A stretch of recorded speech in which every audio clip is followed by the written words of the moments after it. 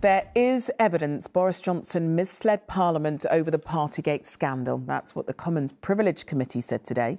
An interim report found the COVID breaches would have been obvious to the former Prime Minister when he told MPs he did nothing wrong. But tonight, Mr Johnson fought back, insisting there is no evidence he knew rules were being broken. And he questioned the role of civil servant Sue Gray, who led the damning internal inquiry into Partygate and who has now quit to join Labour. Here's our political reporter, Amy Lewis.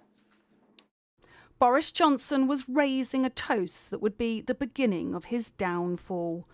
Previously unseen photos of Downing Street gatherings show the then Prime Minister surrounded by bottles, apparently breaching lockdown rules.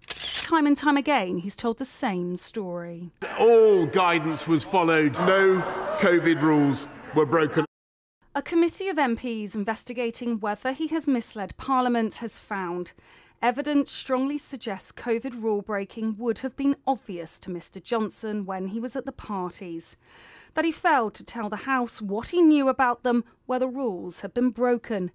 He did not correct misleading statements to the House of Commons at the earliest opportunity and had personal knowledge of lockdown gatherings in number 10 Downing Street, which he could have told MPs.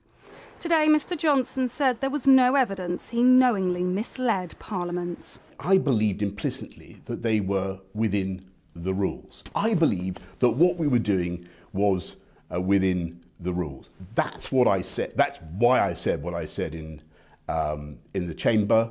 Uh, I, that it was my honest belief at, at the time. Also released today, WhatsApp messages sent between Downing Street staff. One read, Can you pull together our best possible defence on this one? I don't know what we say about the flat. Another replied, Don't we just do a generic line and not get into whether there was a drinks thing or not? I think the evidence of wrongdoing by Boris Johnson is already pretty damning. And I think, first and foremost, of the families, not just those that lost loved ones, but also all the other families who were obeying the rules, changing their lives. Femi Akinola was a care worker during the pandemic. He died after contracting coronavirus. His son has watched Boris Johnson's interview. It made for uncomfortable viewing. I buried my father, and the next day there was a party in Parliament. And that's something I have to think about every time it comes up that he says, I didn't break the rules. You did. It's clear that you did. There are pictures of you breaking the rules. So just tell the truth and let's put this to bed once and for all. Boris Johnson is due to give evidence to MPs later this month.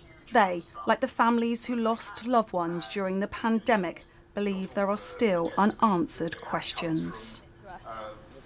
Johnson has said that he finds it, in his words, peculiar that the committee has used evidence from Sue Gray's investigation. The senior civil servant yesterday quit her job to uh, take up a post as the Labour leader, Sir Keir Starmer's chief of staff. Well, last year, Boris Johnson accepted the findings of her report, which found that there were breaches of the rules. However, today he has questioned her independence.